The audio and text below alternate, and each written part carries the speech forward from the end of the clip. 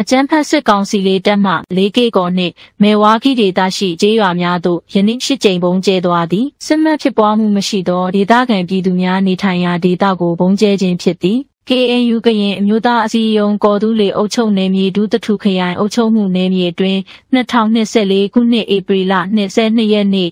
7:00နာရီခန့်ကအာနာသိန်းအကြမ်းဖက်စစ်ကောင်စီအမှတ်6ခြေမြန်တပ်ရင်းမှ KNU တထုံမြို့နယ်ဒနုကျေးနယ်ရှိရွာများထဲသို့လက်နက်ကြီး၃လုံးပစ်ခတ်ခဲ့ရာမယန်းကျေးရွာအတွင်းလက်နက်ကြီးတလုံးကြားရောက်ပောက်ကွဲမှုကြောင့်ဦးရာဟု၏နေအိမ်လက်နက်ကြီးကြီးစားထိမှန်ပျက်စီးခဲ့သည် ဧပြီလ20ရက်နေ့တွင်လည်းအာနာသိန်းအကြမ်းဖက်စစ်ကောင်စီတပ်မှ KNU ဖားအံမြို့နယ်ရှိအရက်သားနေထိုင်ရာရွာများထဲသို့လက်နက်ကြီး18လုံးပစ်ခတ်ခဲ့ရာထီးနူရွာနေအသက်12နှစ်အရွယ်နော်ချေမှု၏ညာဘက်လက်မောင်းနှင့်အသက်85နှစ်အရွယ်ဖီးပန်းပူ၏ညာဘက်လေပင်ရှက်ထီ၍ ညာဘက်ခြေထောက်ခြေပမိုးခြေကြောပြက်ကဘဲဘက်ခြေချောင်းနှချောင်းတို့အားလက်နက်ကြီးကြီးစထိမှန်တန်ရာရခဲ့ပြီးထို့အပြင်ဧပြီလ18ရက်နေ့ကလည်းအာနာသိန်းအကြမ်းဖက်စစ်ကောင်စီ၏ပိနေတော်တပ်စခန်းမှ KNU တထုံမြို့နယ်မင်းလွင်ကျေးနယ်ရှိရွာများထဲသို့လက်နက်ကြီးလေးလုံးပစ်ခတ်မှုကြောင့်ဝမ်ဘဲအင်းကျေးရွာနေနော်သွဲသွဲဟန်ဤဆိုင်ရှိတွင်တလုံးကြားရောက်ပောက်ကွဲရာလက်နက်ကြီးသတိမှန်၍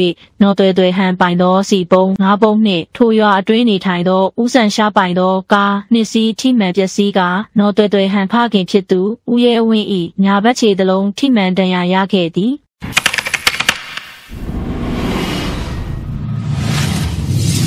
ကရင်မျိုးသားအစည်းအရုံးကော်တူးလေအုပ်ချုပ်နယ်မြေခလဲလွီထူခရိုင်မူးမြို့နယ်အတွင်းအာနာသိန်းကျန်းဖက်စစ်ကောင်စီတပ်များစစ်ကြောင်းထိုးဝင်ရောက်လာစဉ်ထောင်ထားသောမိုင်းများနှင်းမိပြီးစစ်ဘေးရှောင်နေရသည့်အပြစ်မဲ့အရက်သားပြည်သူ6ဦးထိခိုက်ဒဏ်ရာရရှိခဲ့ရသည်2024ခုနှစ်ဧပြီလ10ရက်နေ့တွင်စောတီရွာသားဦးဝင်းနိုင်56နှစ်သည်စစ်ကောင်စီတပ်များထောင်ထားသောမိုင်းအားနှင်းမိပြီးထိခိုက်ဒဏ်ရာရရှိခဲ့သည်ရေလဲဗမာကျေးရွာနှင့်ဦးစော်မင်းထွေ48နှစ်သည်စစ်ဘေးရှောင်သည့်နေရာမှရေလဲဗမာကျေးရွာအတွင်းသို့ပစ္စည်းများပြန်လာယူသည့်အချိန်တွင်အာနာသိန်းအကြမ်းဖက်စစ်ကောင်စီတပ်များထောင်ထားသည့်မိုင်းအားနှင်းမိပြီးထိခိုက်ဒဏ်ရာရရှိခဲ့သည် 2024ခုနှစ်ဧပြီလ12ရက်နေ့တွင်နိုကူးကျေးရွာသားစောရိုးတိုထူ19နှစ်သည်စစ်ပေးဆောင်သည့်နေရာမှအင်းဤကျေးရွာအတွင်းသို့ပစ္စည်းယူရန်ပြန်သွားရာရေလဲရွာထိပ်တွင်စစ်ကောင်စီတပ်များထောင်ထားသည့်မိုင်းအားနှင့်မိပြီးထိခိုက်ဒဏ်ရာရရှိခဲ့သည်2024ခုနှစ်ဧပြီလ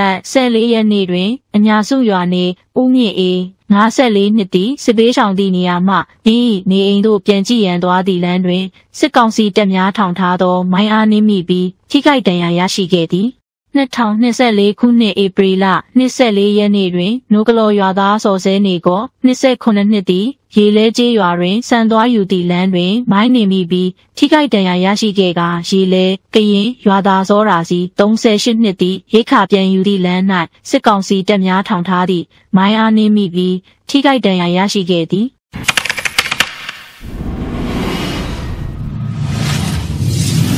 အကြမ်းဖက်စစ်ကောင်စီနဲ့စစ်ဆက်ညှိနှိုင်းဖို့အာဆီယံအသင်းဝင်၃နိုင်ငံသို့မဟုတ်၃နိုင်ငံထက်ပိုပြီးပူးပေါင်းပါဝင်ဖို့ထိုင်းဆိုရကကမ်းလှမ်းလိုက်တဲ့အကြောင်းဘန်ကောက်ပို့စ်သတင်းမှာဒီနေ့ဖော်ပြထားပါတယ်။မြန်မာပြည်ပြည်내ငင်းချမ်းမှု Triangle လို့ခေါ်တဲ့သုံးဦးညွန့်ပေါင်းဖွဲ့နဲ့ဆောင်ရွက်ဖို့အာဆီယံအလှည့်ကျဥက္ကဋ္ဌလာအိုကနေတဆင့်ကမ်းလှမ်းထားတယ်လို့ထိုင်းနိုင်ငံသားရေးဝန်ကြီးဌာနပြောခွင့်ရသူနီကွန်တက်ဘာလန်ကူရာကပြောပါတယ်။ သုံးဦးညွန့်ပေါင်းဖွဲ့မှာအာဆီယံအလှည့်ကျဥက္ကဋ္ဌအဖြစ်မနှစ်ကတာဝန်ယူခဲ့တဲ့အင်ဒိုနီးရှားဒီနှစ်တာဝန်ယူနေတဲ့လာအိုနဲ့နောက်နှစ်မှာတာဝန်ယူရမယ့်မလေးရှားတို့ကနိုင်ငံသားရေးဝန်ကြီးတွေပါဝင်ပြီးသူတို့နဲ့အတူမြမအရေးဖြည့်ရှင်းဖို့စိတ်ဝင်စားတဲ့အဖွဲ့ဝင်နိုင်ငံတွေပါဝင်နိုင်တယ်လို့ဆိုပါတယ်။ဆွေးနွေးပွဲတွေကိုထိုင်းနိုင်ငံကလက်ခံကျင်းပမှာဖြစ်ပြီးအကြမ်းဖက်စစ်ကောင်စီနဲ့တော်လှန်ရေးအဖွဲ့တွေကြားမှာစစ်ဆက်ညှိနှိုင်းရေးဆောင်ရွက်ဖို့ဖြစ်တယ်လို့ဆိုပါတယ် မြန်မာပြည်ရဲ့လက်ရှိတည်နာဟာထိုင်းတနိုင်ငံတည်းကိုမဟုတ်ပဲအိန္ဒိချင်းနိုင်ငံအလုံးကိုရိုက်ခတ်နေတာလို့လည်းမစ္စတာနီကွန်တက်ကပြောပါတယ်။ဒါကြောင့်ထိုင်းနိုင်ငံအနေနဲ့ငင်းချင်းရေးအတွက်ကြားဝင်ဆောင်ရွက်တာဖြစ်ပြီးသူတို့လက်ခံရင်ထိုင်းနေနဲ့အစဉ်သင့်ပါပဲလို့ထိုင်းနိုင်ငံသားရေးဌာနပြောခွင့်ရသူကမစ္စတာနီကွန်တက်ကပြောပါတယ်။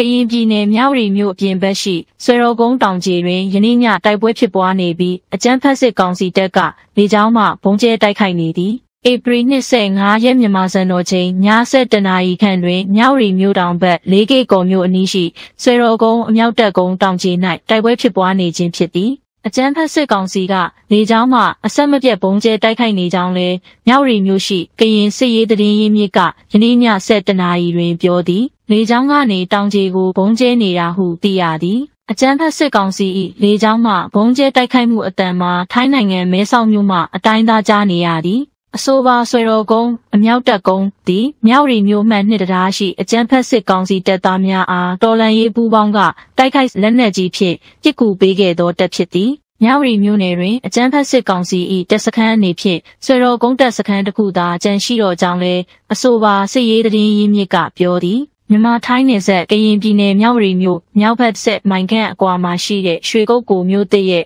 အဝင်ထွက်လမ်းကိုဒီနေ့ကစတင်ပြီး အကျန်းဖက်ကရင်နေကြားဆောင်တက်ကကန့်တက်လိုက်တယ်လို့ရွှေကုတ်ကိုရှိသတင်းရင်းမြစ်ထံကသိရပါတယ်။အကျန်းဖက်ကရင်နေကြားဆောင်တက်ထိန်းချုပ်ထားတဲ့ရွှေကုတ်ကိုမျိုးတစ်ထဲညီသူကိုမျှဝင်ရောက်ခွင့်မပြုတော့ဘဲပိတ်ပင်လိုက်တာလို့သိရပါတယ်။ရွှေကုတ်ကိုမျိုးတစ်ကနေအဝင်မခံပဲကန့်တက်ထားတာလို့ရွှေကုတ်ကိုဒေသခံတအူးကလည်းပြောပြပါတယ်။ အခုလိုရွှေကုတ်ကိုမြို့တစ်တဲ့အဝင်ထွက်ကန့်သက်ပိတ်ပင်တာဟာမြောက်ရီမြို့မှာဖြစ်ပျက်နေတဲ့စီးရေးအခြေအနေတွေကြောင့်ဖြစ်နိုင်တယ်လို့အကြမ်းဖက်ကရင်နယ်ခြားဆောင်တက်တဲ့နှီးဆက်တဲ့သတင်းရင်းမြစ်တအူးကယူဆပါတယ်။ KAU နဲ့ပူးပေါင်းတပ်တွေမြောက်ရီကနေစုခွာသွားပြီးနှစ်ရက်အကြာမှာမျိုးဆောင်တက်ရင်ကိုအကြမ်းဖက်စစ်ကောင်စီတပ်ဟာအကြမ်းဖက်ကရင်နေချားဆောင်တက်အကူအညီနဲ့ပြန်လည်ထိန်းချုပ်လိုက်နိုင်ခဲ့ပါတယ်။ အကျန်းဖက်ကရင်နေကြားဆောင်တက်ဟာမြောက်ရီမြို့ပြင်မျိုးဆောင်တက်ရင်ခလာရနှင့်ရ85မှာအကျန်းဖက်စစ်ကောင်စီတပ်နဲ့ KAU ဦးစီးတဲ့ပူးပေါင်းတပ်တို့တိုက်ပွဲဖြစ်နေချိန်မှာမြောက်ရီမြို့ရင်းမှာကင်းလည်ပေးတာတွေရှိခဲ့ပါတယ်။မြောက်ရီမြို့နဲ့မြောက်ဖက်ဆက်မိုင်ခန့်အကွာတောင်ရင်းမြစ်ဘေးက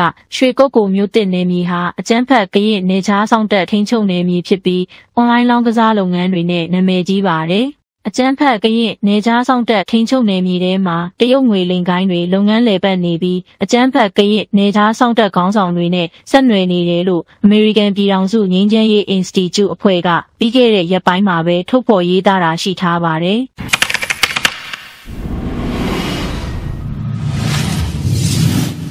မြောက်ရီမျိုးတွင်ဖြစ်ပေါ်နေသည့်စစ်ရေးစီးပွားရေးအုပ်ချုပ်ရေး လက်တလောအခြေအနေအရအကြမ်းဖက်စစ်ကောင်စီတပ်နှင့်အကြမ်းဖက်ကရင်နေချားဆောင်တက်တဲ့များပူးပေါင်းအုပ်ချုပ်ရေးလှုပ်ဆောင်နေသည့်အပေါ်အကြမ်းဖက်စစ်ကောင်စီရုံးများဌာနများလုပ်ငန်းလေပတ်မှုမရှိဘဲကုံသွေးရေးတရားအမှတ်နှစ်ဘက်တွင်မှနေဆက်ကုံသွေးမှုရပ်ဆိုင်းနေဆဲဖြစ်ကြောင်းသိရှိရသည် ထိုင်းမြန်မာနယ်စပ်မြဝတီချစ်ကြည်ရေးတရားမှတ်1ဧပြီ27ရက်မှစပြီးယာယီပိတ်ထားသည့်အတွက်မြဝတီမဲဆောက်အသွားလာတပတ်နေထိုင်ခွင့်ယာယီပတ်စပို့ဖြင့်နေထိုင်သူများခွင့်တက်တန်းတိုးလက်မှတ်ရယူရန်တရားပိတ်ထားသည့်အတွက်ရက်လွန်တန်ကြီးအစမတန်ပေးဆောင်ရမည်ကိုစိုးရင်ပူပန်နေကြရကြောင်းသိရှိရသည်ထို့သောနယ်စပ်ဖြတ်တန်းခွင့်အခက်အခဲကြုံနေရသည့်အခြေအနေအပေါ်တရားတာဝန်ရှိသူများကမြည်သည့်အခြေအနေကြောင့်ယာယီတရားပိတ်ထားသည့်အခြေအနေကိုထုတ်ပြန်ကြေညာခြင်းမရှိသလိုစုံစမ်းမေးမြန်းသည့်သူများအားအကြောင်းတစုံတရာပြောဆိုခြင်းမရှိသည့်အတွက်မဲဆောက်ဘက်နှင့်မြဝတီဘက်အချမ်းတွင်ဖြတ်တန်းသွားလာခွင့်အားစောင့်ဆိုင်နေသူရာချီရှိနေကြောင်းသိရှိရသည်တရားကပိတ်ထားတယ်။ကြော်ညာတာမျိုးလည်းမရှိဘူးမတွေ့ဘူးလက်မှတ်ကုန်လို့စက်ပြက်နေလို့ကွန်ပျူတာဆာဗာစနစ်တွေပြောင်းနေပြနေလို့ဆိုပြီးအဲ့ဒီအနီးနားကဈေးဆိုင်တွေကားသမားတွေကတော့အမျိုးမျိုးပြောနေကြတယ်သူတို့ကမြဝတီတရားထိပ်မှာအရက်ဝတ်တွေနဲ့တနက်တွေနဲ့ဆိုတော့မင်းမရဲကြဘူးဘယ်ချိန်ဖွင့်မလဲလာထိုင်ဆောင်နေကြရတယ် ဇာပတ်စပို့နဲ့ပြန်ဝင်ဖို့တုံးထုဖို့လုံးမရဘူးဖြစ်နေတယ်ဟုမြဝတီမဲဆောက်ကားမောင်းသူတဦးကပြောသည်တရားကူလက်မှတ်ဝန်ဆောင်မှုပေးသူတဦးကတရားပိတ်တာကြာလာလေကျွန်တော်တို့တပတ်ကတ်တွေဒဏ်ကြီးရက်လွန်ကြီးပိုလာလေးဖြစ်လာမှကြောက်တယ်အခုက passport အကြီးသမားတွေတော့ဝင်လို့ထွက်လို့တုံးထုလို့ရနေတယ်ကျန်တာတွေမရဘူးအောက်ဂိတ်လှေဂိတ်တွေကခိုးကူးတာမျိုးနဲ့ပဲသွားနေရတယ်တနစ်စာစာအုပ်ကလည်းတရားကပေးမဖြတ်တော့အောက်ဂိတ်ကပဲထိုင်းဘက်အလုပ်သွားဆင်းနေရတယ် အခုဒီနေ့ကျတော့ထိုင်းဘက်ကတရားဖွင့်တယ်မြန်မာဘက်ကတရားမဖွင့်ဘူးသိရသည်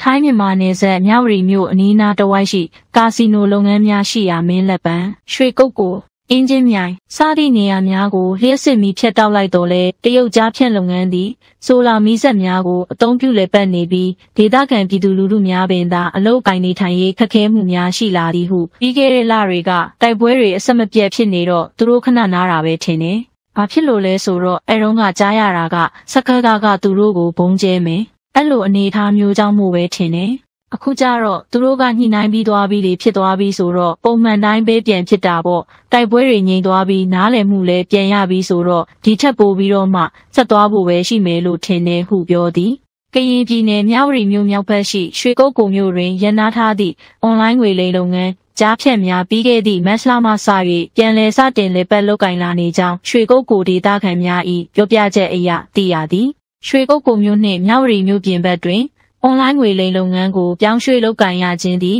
ကုတ်ကုံမျိုးတွေမှာသာအလုသက်တာမှုရှိပြီးဝင်ထွက်သွားလာမှုလွယ်ကူကနှိမ့်ဆက်ရိုက်နှက်ခံရမှုများမရှိကြောင်းအမည်မဖော်လိုသူအွန်လိုင်းငွေလိမ်လုပ်ငန်းလုပ်သမားတဦးကယခုလိုပြောသည်လာကက15000ရတယ်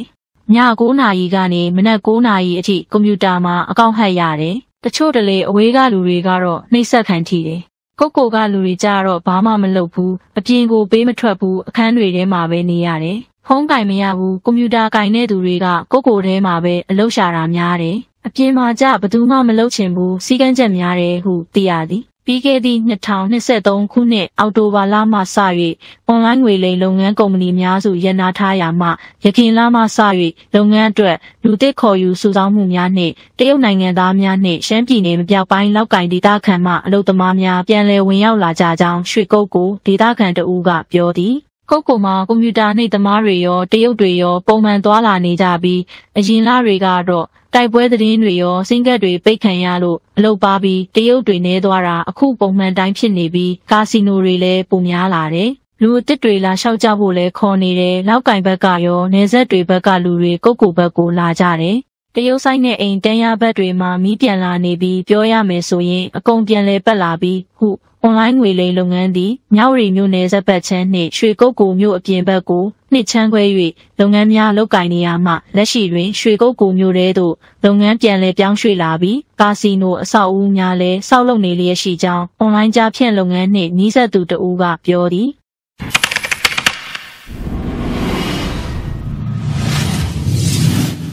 ဟာဘွန်အကျန်းဖက်စစ်ကောင်စီအခြေစိုက်စခန်းနှစ်ခုကြာဆုံးသွားပြီးနောက်ပိုင်းမူတော်ခရိုင်အတွင်းရှိမြို့နယ်၃မြို့နယ်လုံးဒရုန်းဖြင့်တိုက်ခိုက်ခြင်းအားရခင်ကထပ်ပိုမိုတိုက်ခိုက်မှုပိုမိုလှုပ်ဆောင်လာသည်ဟု KAU ကပြောသည် သို့သောအယက်သားပြည်သူများတဝီတယောက်တေကျေထိခိုက်မှုမရှိကြောင်းပြောဆိုသည်ဟာပွန်ဒေတာအခြေဆိုင်အကြမ်းဖက်စစ်ကောင်စီခြေမြန်တက်ရင်ခမရ434နှင့်စစ်ဝတ်တန်စာစုဆောင်ရေးဌာနဆဆန640နှစ်တက်စခန်းတို့အားဧပြီလ24ရယမန်နေ့တရက်ထဲတွင်ကရင်အမျိုးသားလူမျိုးရေးတပ်မတော်တပ်မဟာ9နှင့်မဟာမိတ်ပူးပေါင်းတပ်ဖွဲ့ဝင်များတိုက်ခိုက်သိမ်းပိုက်နိုင်ခဲ့သည်ဟု KNU မူတော်ခရိုင်သတင်းစင်ကယနေ့သတင်းထုတ်ပြန်လိုက်သည် အခုကျွန်တော်တို့တွေသွားနေတာကစစ်အာဏာရှင်အမြင့်ပြတ်ချုပ်ငင်းရေးနဲ့ကိုကံကြမ္မာကိုဖန်တီးနိုင်ဖို့နေနေညညတိုက်ပွဲဝင်နေပါတယ်ဆိုတာကိုပြည်တွင်းနယ်ဆက်ပြည်ပမှာရှိနေကြတဲ့ကရင်ပြည်သူတွေရောတိုင်းရင်းသားပြည်သူတွေအားလုံးကိုပြောချင်ပါတယ်ရှိရှိသမျှငွေအင်အားလူအင်အားစိတ်သက်အင်အားအားလုံးပါဝင်ပေးဆက်ကြသူတွေကိုပြောချင်တာကစိတ်သက်ကြဆုံးမှုတစုံတရာမဖြစ်ကြပါနဲ့ဟုမူတော်ခရိုင်သတင်းစင်တွင်ပြောဆိုထားသည်အဆိုပါစခန်းသိမ်းတိုက်ပွဲတွင်လက်နက်ခဲယမ်းအမြောက်အများသိမ်းဆည်းရပြီးစည်ရင်တိအကြကိုမကြာမီထုတ်ပြန်သွားမည်ဖြစ်ကြောင်းယခုထုတ်ပြန်ထားသည့်လက်နက်ခဲယမ်းများမှာလက်တလောဖြစ်ပေါ်နေသည့်ပြည်သူများစိတ်ကုံလက်ပန်းကျစရာအကြောင်းအရာများတွေ့ရှိရသည့်အပေါ်မဖော်ပြမဖြစ်ဖော်ပြရခြင်းဖြစ်ကြောင်းရှေ့ရန်စစ်မျက်နှာရှိကရင်အမျိုးသားလူမျိုးရေးတပ်မတော်မှဘိုးအဲခုဆိုးကပြောဆိုထားသည်